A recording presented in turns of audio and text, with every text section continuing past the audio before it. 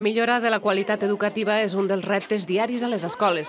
Així, per preparar els mestres se fan formacions com esta en racisme antigitano, en què es donen eines per treballar-lo. Si no som conscients de que vivim en una societat racista, en un sistema que és racista de dalt a baix, doncs eh, això no ens permetrà avançar de cap manera. No? I és aquesta, donar importància d'aquest primer pas. La formadora és Araceli Cañadas, gitana i professora de l'única assignatura universitària dedicada a la història del poble gitano a tot l'estat espanyol. Yo siempre digo, yo no soy tu gitana. Yo no soy la gitana que tú tienes en tu cabeza, por los motivos que sea, folclóricos, culturales, sociales, políticos.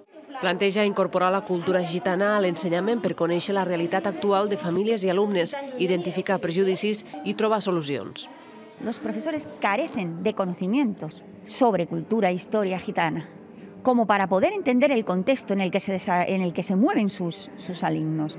Yo creo que mejoraría mucho su capacidad de adaptación a su clase si dispusieran de esas herramientas. Des del professorat agraeixen estos tallers que els aporten eines i els permeten compartir dubtes una persona que és experta en aquesta ètnia doncs, que ens donés una mica doncs, d'estratègies per a poder comunicar-nos millor amb aquestes famílies. Hi ha alumnes que mostren interès per aprendre, per voler millorar en el seu dia a dia. Per tant, volem això, aprendre estratègies per potenciar aquest, bueno, aquesta motivació. En total, se formaran una seixantena de persones, entre elles alumnes del grau d'educació infantil en gestions creatives, en la idea d'estendre-ho a altres centres. Shh.